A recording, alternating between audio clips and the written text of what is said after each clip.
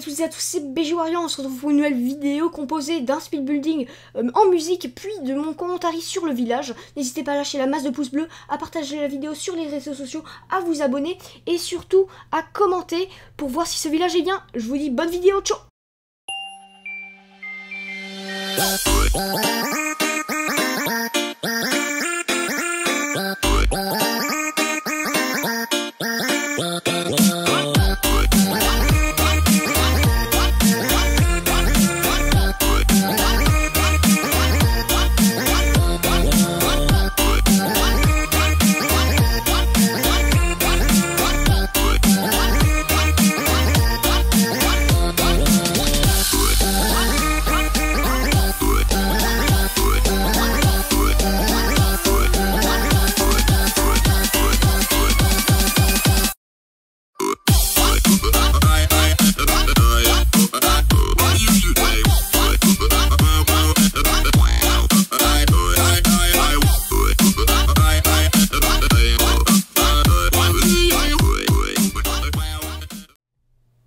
L'analyse du village, donc une base vraiment hyper top. Alors ne faites pas attention aux défenses qui sont peut-être un petit peu trop fortes euh, par rapport à l'HDV7, mais ce n'est pas grave, donc un village vraiment super. Alors pourquoi? Premièrement, les ressources, vous voyez, elles forment un carré, donc c'est assez, euh, assez cool.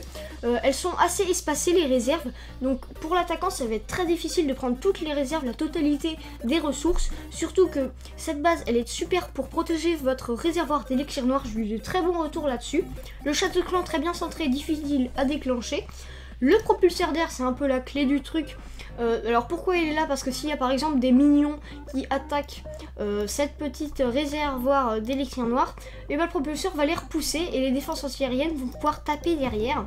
Euh, pourquoi toutes les défenses, enfin pourquoi tous les pièges aériens sont derrière le propulseur? Bah justement, le propulseur va faire le taf devant lui et les bombes derrière lui, donc comme ça il y a une protection maximale en aérien.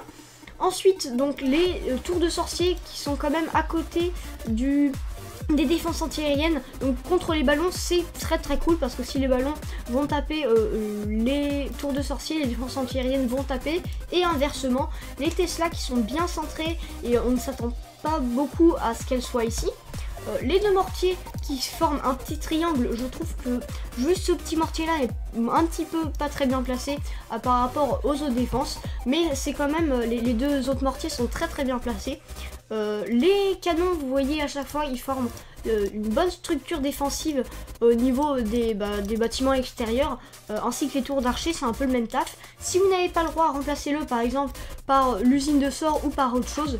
Mais justement, grâce à ce village, vous allez pouvoir avoir votre roi très facilement en protégeant votre élixir noir. Euh, donc vous voyez là, à chaque fois il y a un compartiment, euh, il y a beaucoup de compartiments avec 4 euh, bâtiments dedans. À part ici et ici où les bombes géantes peuvent faire très très mal parce qu'elles sont rapprochées du centre. Et, donc je pense qu'elles sont très très efficaces ces bombes. peut-être les bombes normales, elles sont peut-être pas utiles à côté des bombes géantes, sachant que la bombe géante fait déjà beaucoup de dégâts, mais ça peut être vraiment utile. Les petits pièges à ressort, vous voyez il y, en a 4, ils font un petit carré et euh, donc ils protègent euh, au maximum pardon euh, bah, l'entrée pour les géants dans ce village, pour les casse-briques surtout, donc c'est vraiment un village qui est très très top. J'ai un pote qui, qui a ce village, qui a EP ses murs au niveau max, donc au niveau 7 en HDV 7 donc c'est vraiment super cool. Donc voilà c'est un, village qui est vraiment super je vous le conseille beaucoup. N'hésitez pas à liker à vous abonner à partager les vidéos sur les réseaux sociaux à checker ma page Facebook. Je vous dis salut à tous à la prochaine